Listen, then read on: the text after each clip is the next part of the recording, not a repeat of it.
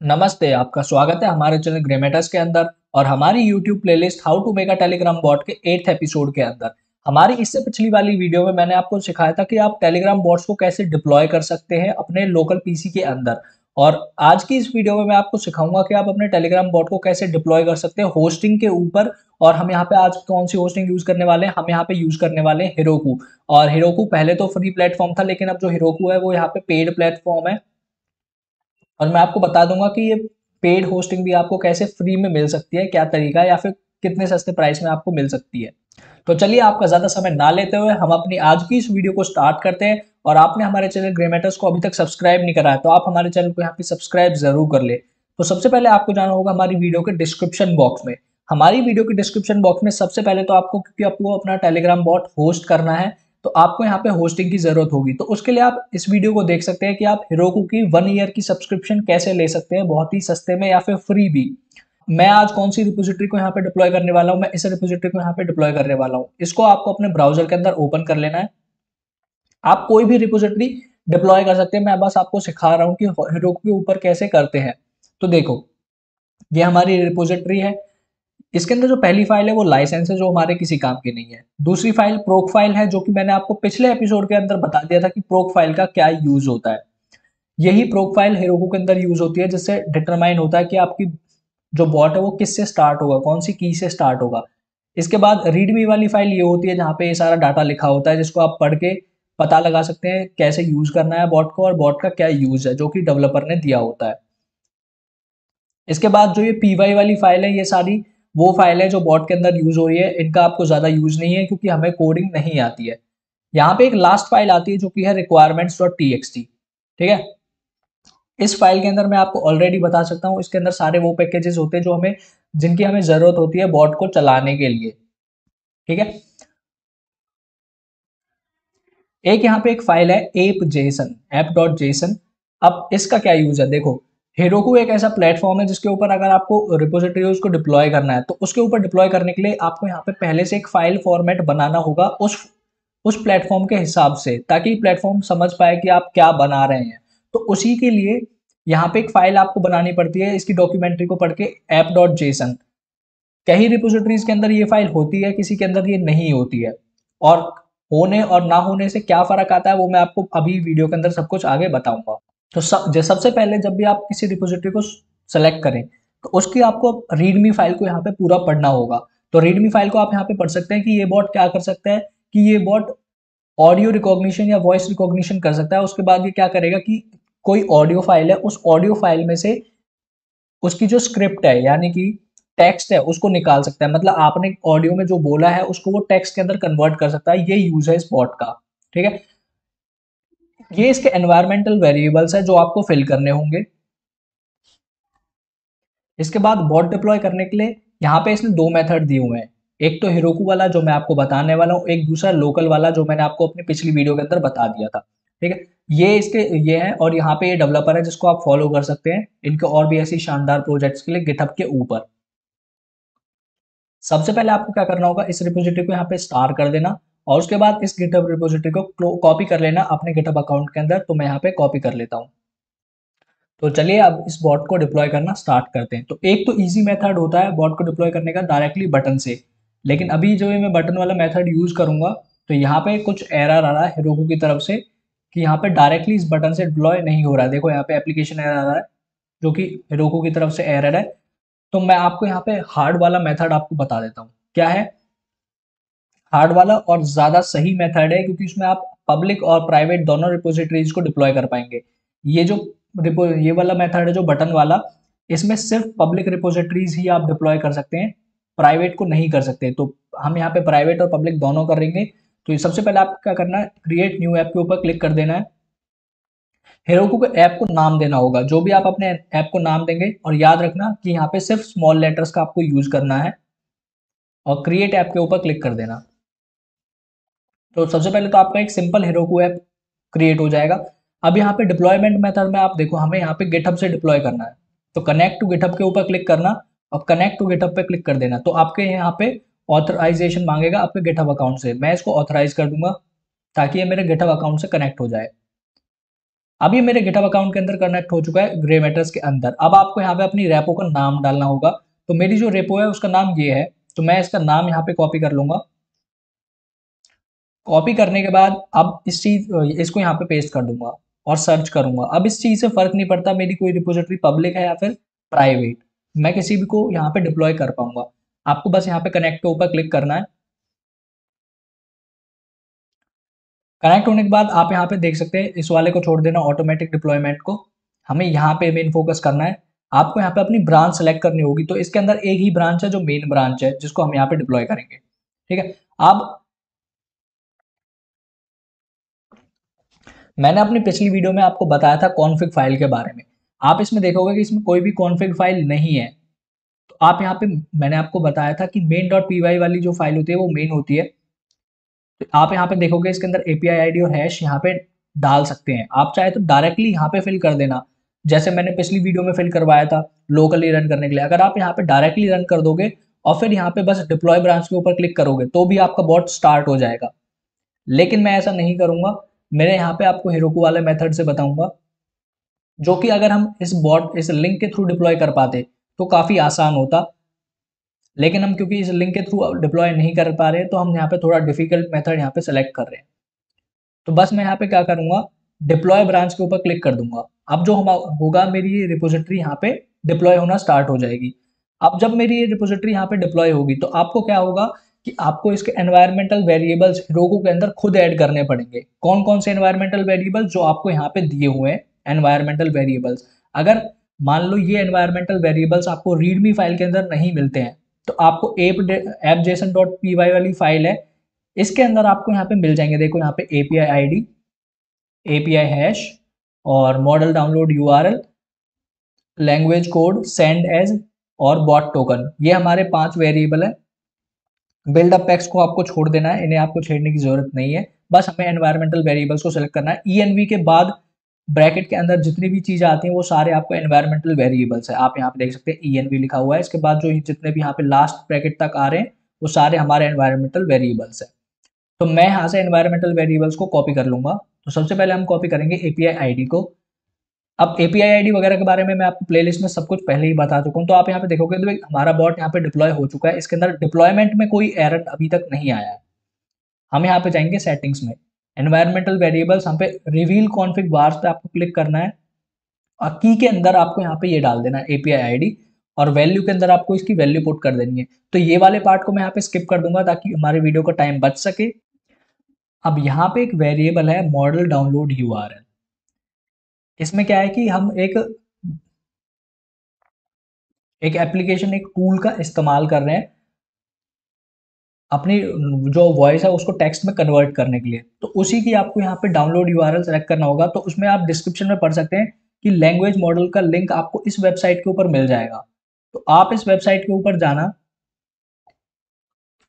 मैं इसको यहाँ पे कॉपी कर लेता हूँ, और नए पेज में जब ओपन करूँगा तो आपको यहाँ पे इसका डाउनलोड यूआरएल मिल जाएगा। तो ये यहाँ पे डाउनलोड यूआरएल है, इसके ऊपर क्लिक करके आप डाउनलोड कर सकते हैं। तो जो इसका बॉट का डेवलपर है, उसने यहाँ पे ये वाला डाउनलोड यूआरएल सेलेक्ट किया हुआ है कि हम इसको डिप्लॉय करेंगे, जो कि मीडियम साइज़ है, आप यहाँ पे इसे इसका साइज़ देख सकते हैं। ज़्यादा बड़ा साइज़ आपको सेलेक्ट नहीं करना है 2.4 काफ़ी ज़्यादा हो जाएगा। तो हम यहाँ पे मीडियम साइज़ यानी एक सौ अट्ठाईस एम को यहाँ पे यूज़ करेंगे। तो यहाँ पे जो इसने वैल्यू के अंदर दिया हुआ है बाय डिफ़ॉल्ट हम उसी को यहाँ पे यूज़ कर लेंगे कॉपी करके। आपको जो एप जेसन फ़ाइल या फिर जो रीड भी होती है, उसके अंदर ये सारी चीज़ें मिल जाती हैं, बस आपको उस चीज़ को यहाँ पे रीड करना होगा। इसके बाद यहाँ पे एक वेरिएबल है लैंग्वेज कोड का। अब ये लैंग्वेज कोड भी आप रीडमी के अंदर देख सकते हैं कि इस वेबसाइट पे जाना आप, जैसे मैंने और वहाँ पे आपको जो लैंग्वेज कोड यूज़ करना है, आप उसको सेलेक्ट कर सकते हैं। तो हम यहाँ पे बेस सिंपली वही यूज़ करेंगे जो डेवलपर ने दिया है, जो कि है इंग्लिश यूएस की। तो यहाँ पे मेरे जितने भी वेरिएबल्स थे छः के छः वेरिएबल्स मैंने यहाँ पे इसे कॉपी करके फिल कर दिए ठीक है? अब इसको हमें फिर से डिप्लॉय करना होगा, या फिर डिप्लॉय ना करने की जगह आपका क्या कर सकते हैं, यहाँ पे रिसोर्सेज के ऊपर आना। आपको यहाँ पे मिलेगी रिसोर्सेज में आप अपने बॉट को स्टार्ट कर सकते हो। जो हमने जो प्रोफ़ाइल बनाई थी, आप यहाँ पे देख सकते हैं, ये हमारी वही प्रोफ़ाइल है, जहाँ पे डिफाइंड है। इसको आपको यहाँ पे स्टार्ट करना है। अब जब आप इसे राइट साइड कर देंगे तो आपका बॉट स्टार्ट हो जाएगा। लेफ़्ट साइड कर देंगे तो आपका बॉट बंद हो जाएगा। तो हम अपने इस बॉट को यहाँ पे स्टार्ट करते हैं और मोर पे क्लिक करके आप यहाँ पे लॉग्स को देख सकते हैं अपने बॉट को। और यहाँ पे अगर आपके बॉट के अंदर कोई एरर होता है तो आप यहाँ पे एरर को रीड कर सकते हैं। कोई एरर नहीं होता है तो उसको भी यहाँ पे देख सकते हैं। और कुछ यूज़र्स को ना यहाँ पे समझ नहीं आता। आप बस लॉग्स के अंदर आना यहाँ पे लाइन बाय लाइन जो भी चीज़ लिख रही है ना, आप बस उसको पढ़ लेना। तो यहाँ पे आपको समझ में आ जाएगा कि किस चीज़ का एरर है। मोस्ट ऑफ़ द यूज़र्स को प्रॉब्लम यहीं पे आती है। देखो, मैं आपको एक चीज़ सिखाता हूँ कि छेड़खानी करना सीख लो। आप जितना ज़्यादा छेड़खानी करोगे, उतना ज़्यादा सीखोगे। मैंने भी ये सारी चीज़ें खुद ऐसे ही सीखी है। यूज़र्स जो है ना, छेड़, छेड़खानी करने से डरते हैं और जिसकी वजह से वो सीख नहीं पाते। तो मैं तो यही कहता हूँ कि सीख लेना। तो आप यहाँ पे देख सकते हो, हमारे यहाँ पे कोई भी एरर नहीं आया है। एरर नहीं आया और हालाँकि जो मैंने रिपोजिटरी थी, एक साल पुरानी रिपोजिटरी को यहाँ पे सेलेक्ट करा था, ताकि मैं को एरर आ जाए, लेकिन आपकी किस्मत इतनी अच्छी नहीं है कि कोई एरर यहाँ पे आ सके जिसको मैं सॉल्व करके बता सकता। तो यहाँ पे कोई एरर नहीं आया है। अब मेरे पास यहाँ पे एक फ़ाइल है जो मैंने ऑलरेडी एक ली हुई है। मैं इस फ़ाइल को फॉरवर्ड करूँगा इस बॉट के ऊपर टेस्ट करने के लिए कि हमारा बॉट यहाँ पे वर्क करता है या नहीं। चलो आपकी किस्मत यहाँ पे अच्छी है कि बॉट स्टार्ट में तो कोई एरर नहीं आया था, लेकिन बॉट को यूज़ करने में यहाँ पे एक एरर आ चुका है। अब मैं इस एरर को आपको सॉल्व करना सिखाऊँगा कि आप किस तरह से सॉल्व कर सकते हैं। तो जैसा कि आप लॉग फ़ाइल के अंदर यहाँ पे देख सकते हैं एरर आपको यहाँ पे आ रहा है। तो सबसे पहले तो आपको देखना है कि एरर हमारा कहाँ से स्टार्ट हो रहा है। तो हमारा जो एरर है वो यहाँ से स्टार्ट हो रहा है। अब इसके अंदर आपको देखना है यहाँ पे फ़ाइल कहाँ पे एरर ये आपको बता रहा है। तो देखो हेरोको के अंदर पाइथन में लाइब्रेरी में पाइथन 3.11 हम यहाँ पे यूज़ कर रहे हैं, जो कि लेटेस्ट है, ठीक है? इसके बाद साइड पैकेज में आपको देखोगे लास्ट में जाके पहुँच रहा है पायरोग्राम पे। अब पायरोग्राम क्या है? पायरोग्राम मैंने आपको बताया था कि टेलीग्राम की लाइब्रेरी है, जिसको हम यूज़ करते हैं टेलीग्राम बॉट्स को क्रिएट करने के लिए यूज़ करने के लिए। तो यहाँ पे ये हमारा जो एरर हुआ, ये किससे रिलेटेड हुआ? ये हमारा एरर रिलेटेड हुआ पायरोग्राम से। अब अगर आप रिक्वायरमेंट्स डॉट टी फ़ाइल में इसके जाओगे तो आपको यहाँ पे मिलेगा कि यहाँ पे जितने भी पैकेजेस यहाँ पे दिए हुए हैं, इन किसी भी पैकेजेस का ना स्पेसिफिक जो वर्जन होता है, वो यहाँ पे नहीं दिया हुआ है। और वर्जन अपडेट होते रहते हैं तो जैसे ही कोई नया अपडेट आता है तो ऐसा हो सकता है कि पुराने पैकेज के अंदर जो, पुराने वर्जन के अंदर जो चीज़ें थी, वो शायद अपडेट के अंदर रिमूव हो जाए। तो उसी की वजह से ये एरर आता है। अब ये जो रिपोजिटरी है, वो है एक साल पुरानी। डेवलपर्स ने काफ़ी ये मिस्टेक करी है कि उन्होंने स्पेसिफिक वर्जन मेंशन नहीं करा है रिपोजिटरीज के अंदर। तो हम यहाँ पे इस फ़ाइल को एडिट करेंगे। अब यहाँ पे एक चीज़ का ध्यान रखना कि टेलीग्राम के पायरोग्राम के अंदर दो मेजर डिफरेंसेस आए हैं। दो मेजर दो अपडेट्स थे। तो अभी तो लेटेस्ट चल रहा है। यहाँ पे मैं इजिकल टू इजिकल टू डाल के यहाँ पे जो इससे पिछला वाला जो सबसे स्टेबल वर्जन था, जो बेस्ट सूटेड है टेलीग्राम बॉट्स के लिए, जो हमेशा वर्क करता है, मैं उसको यहाँ पे फिल करूँगा और देखूँगा कि तब मेरा बॉट यहाँ पे वर्क करता है या फिर नहीं। तो अभी जो पायोग्राम वर्जन चल रहा है वो है टू उसको आप यहाँ पे यहाँ पे जाओगे तो आप सर्च कर सकते हैं कि पायरोग्राम का लेटेस्ट वर्जन ऐसे आप गूगल करोगे ना तो गूगल के आपके गूगल पर भी सारी आपको चीज़ मिल जाएँगी। देखो पायरोग्राम का जो लेटेस्ट वर्जन चल रहा है वो टू है। लेकिन हमें करना है पुराना वाला यूज़ पुराना वाला यूज़ कौन सा है? One point one point four point sixteen ये मोस्ट स्टेबल पायोग्राम वर्जन है, जिसको यूज़ किया जाता था। तो हम इसको यहाँ पे यूज़ करेंगे 1.4.16 को। अब रिपोजिटरी के अंदर जब आपने कोई भी चेंज करा है गेटअप रिपोजिटरी के अंदर, तब आपको अपने बॉट को हिरोको के ऊपर फिर से डिप्लॉय करना पड़ता है। अब एक और चीज़ मैं आपको बता देता हूँ, जो मैंने यहाँ पे एक मिस कर दी थी, कि आपको बिल्डअप पैक्स में देखना है, यहाँ पे जो हिरोको है, वो तो बाय डिफ़ॉल्ट आएगा मतलब हीरोकू पाइथन लेकिन यहाँ पे एक और अलग से बिल्डअप पैक है, जो इस रिपोजिटरी में यूज़ हो रहा है। तो क्योंकि हमने यहाँ पे डायरेक्टली डिप्लॉय किया है एप जेसन की फ़ाइल से डिप्लॉय नहीं करा है तो हमें ये जो बिल्डअप पैक है मैनुअली ऐड करना पड़ेगा। कहाँ पे ऐड कर सकते हैं? बिल्डअप पैक्स में आना, ऐड पैक पे आना, ये जो यूआरएल कॉपी करा है, इसको यहाँ पे सेव कर देना और ये आपका यहाँ पे ऐड हो जाएगा। ऐड करने के बाद आप यहाँ पे एक नोट देख सकते हैं कि आप इस बॉट को दोबारा जब डिप्लॉय करोगे ना, तभी आपका चेंजेस अप्लाई होंगे।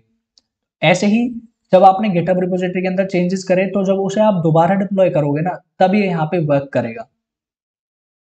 ठीक है, मैंने आपको समझा दिया है कि एरर आपको कैसे समझना है और कैसे आपको बिल्डअप पैक्स वगैरह ऐड करने हैं। अब हम इसको डिप्लॉय पे जाके दोबारा डिप्लॉय करेंगे। तो मैं इसे यहाँ पे डिप्लॉय ब्रांच के ऊपर क्लिक कर दूँगा। अब यहाँ पे आप, यहाँ पे अपने बिल्ड लॉग्स को देख सकते हैं। बिल्ड लॉग्स के अंदर भी आप अपने एरर्स को पकड़ सकते हैं अगर कोई होता है तो। अगर आपका एरर आएगा तो आपकी जो लास्ट में जो डिप्लॉयमेंट है वो नहीं दिखाएगा कैंसिल दिखा देगा या फिर फेल्ड दिखा देगा। तो हमारे इसके अंदर कोई भी एरर नहीं आया चेंजेस करने के बाद और हमारा बॉट सक्सेसफुली डिप्लॉय हो चुका है। अब हम दोबारा यहाँ पे अपने लॉग्स को चेक करेंगे।